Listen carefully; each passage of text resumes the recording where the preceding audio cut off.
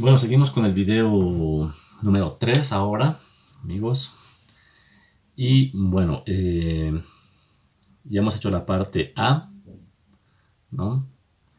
Vamos a poner control V, a seguir creando compases, que bueno, los hemos visto porque están aquí abajo. Y bueno, aquí le vamos a poner una doble barra, ¿no? Para acabar también simplemente ponemos en crear, eh, barra de compás y buscamos el que dice doble y ya tenemos ahí nuestra barra de compás doble ahí separamos, ¿no? Eh, bueno, vamos a poner control T.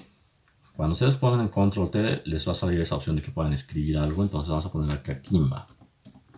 Ya, para saber que hasta ahí es la parte de la Kimba. Ponerle mayúsculas para que se note mejor. Kimba. ¿Sí? Entonces de acá arrancamos con la Kimba. Vamos a ver. Eh, la quima tiene 1, 2, 3, 4, 5, 6, 7, 8, 12 compases. Bien, entonces vamos a ir trabajando. Lo que me dice la quimba igual lo voy a anotar. Y me dice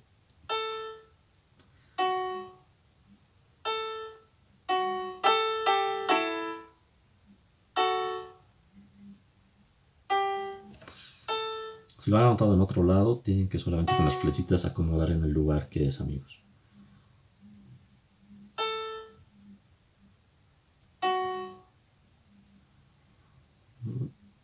Y después nos pide una negra. Fíjense siempre porque si no les va a faltar o sobrar espacio.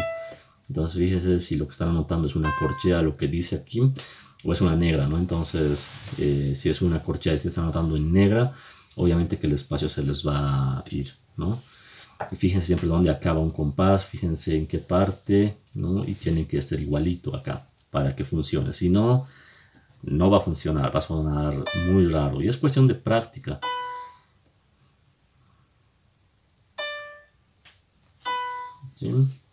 Anotamos ahí. Cuando son dobles notas es más, eh, no sé si puede decir tardío.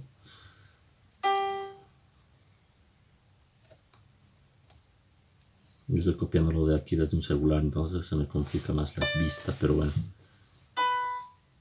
Vamos a tratar de acabarlo rápido.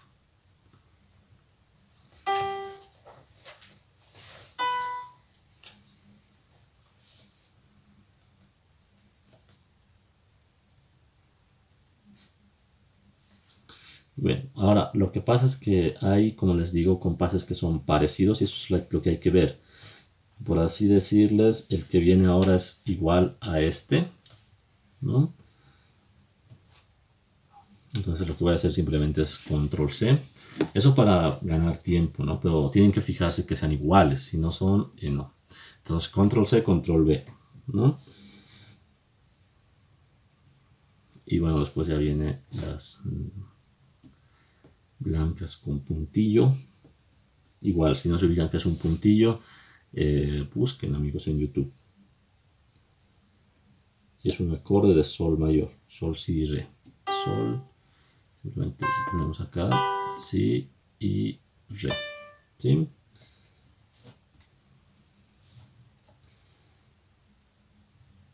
Y después me pide lo mismo. Vamos a ver. Este mismo compás, vamos a control C y le vamos a dar aquí a control B. Ya tenemos ahí el mismo compás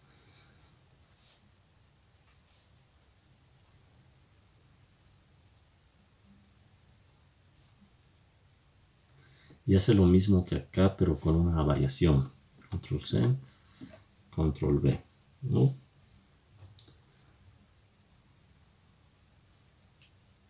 no, es igual solo que yo lo he escrito mal si no me equivoco a ver, voy a revisar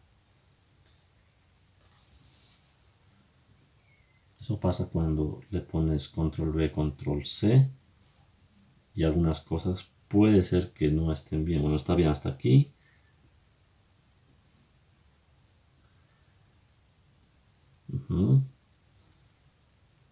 Sí, este estaba fallando, entonces es que le sigue.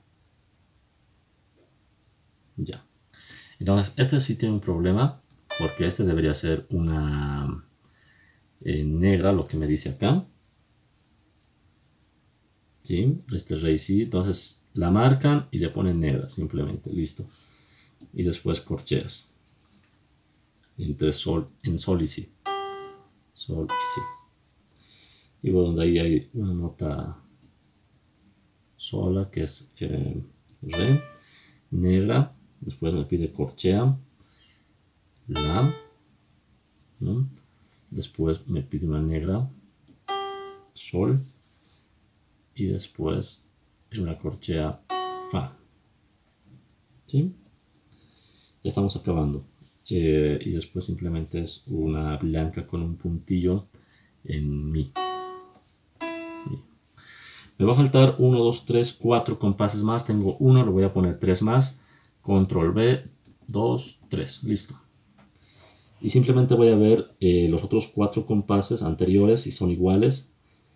Lo voy a comprobar y si son iguales. Entonces lo que voy a hacer simplemente ahora es marcar desde 1, 2, 3, 4 desde acá hasta este otro de aquí. ¿sí? Control C, le voy a poner control B. Listo, vamos a escuchar solamente desde la parte de la kimba. Esto lo pueden ver desde donde me dice kimba, desde esta parte vamos a marcar kimba, vamos a poner acá abajo. Lo pueden mover igual lo que han escrito, a donde quieran marcar. ¿no? Nos sirve como marcadores. Entonces, eh, desde acá, desde el compás 40, voy a buscar, ¿no? Es más o menos ahí. Vamos a escuchar solamente la parte de la.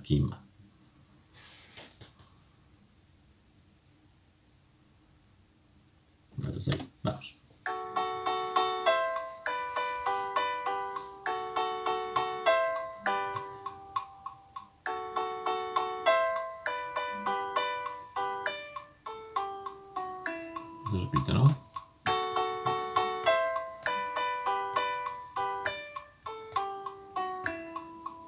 La kimba. Eso es, amigos. La kimba solamente se toca una vez, una vuelta, ¿no? Y lo que ahora faltaría eh, simplemente es, eh, bueno, pues repetir la parte A. Lo vamos a hacer eso ahora. Vamos a seguir colocando un compás por lo menos ahí. Vamos a ponerle una doble barra a este. ¿sí? Marcamos la barra, ponemos en crear y buscamos barra de compás. En este nos va a aparecer doble y listo. Entonces acá tengo que repetir la parte eh, A. ¿no? Y la parte A era este de aquí. Igual pueden poner también, para no olvidarse, control T. Pueden poner parte A. ¿no? Marcadorcito ahí para saber que ahí inicia la parte A.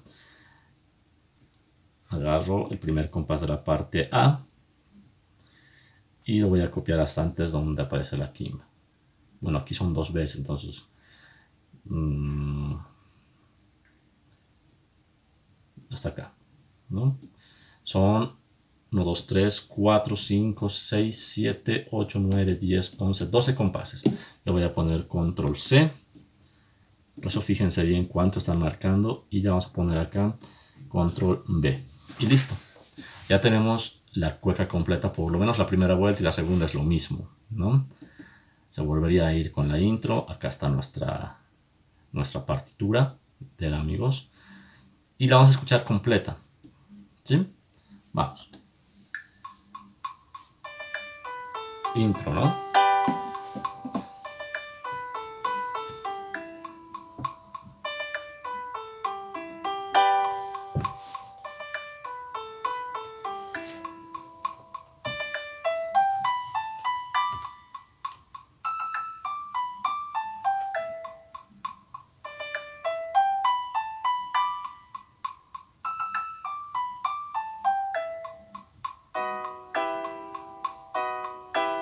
La parte A.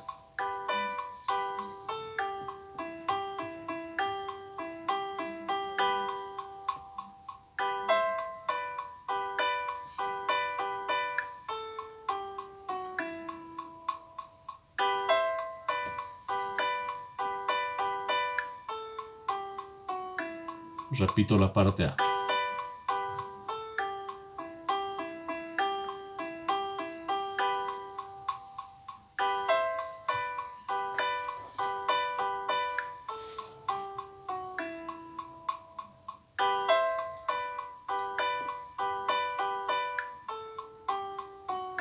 Kimba.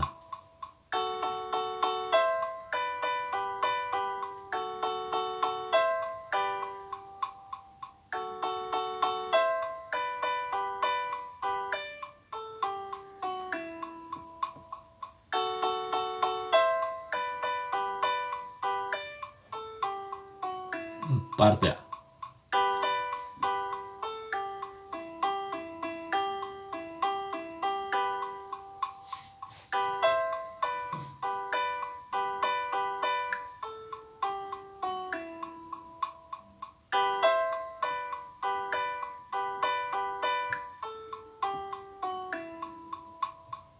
Bien, ahí termina nuestra cueca, amigos.